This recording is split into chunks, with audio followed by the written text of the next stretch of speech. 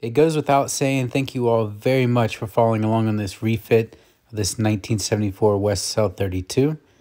feel like we're about halfway on the refit, so continue along on this journey with me. Thank you.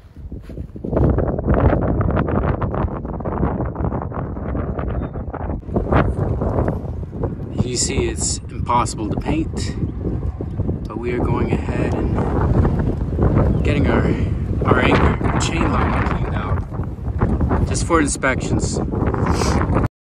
With it too cold and windy to paint, I really want the opportunity to take a look at this Sea Tiger winch, make sure it's still operated, as well as get rid of the anxiety that my chain locker was just one big clump of salted chain. So this controls the speed, clutch is out, right? Obviously I have it tied up.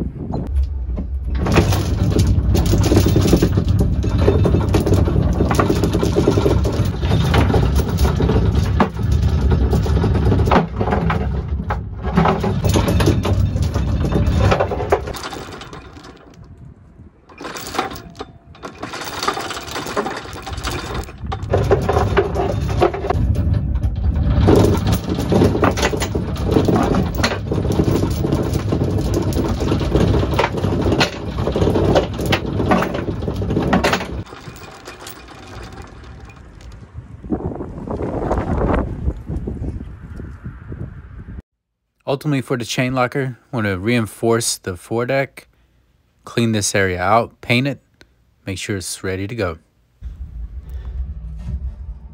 Not bad. Want to see if that drain should go to the bilge.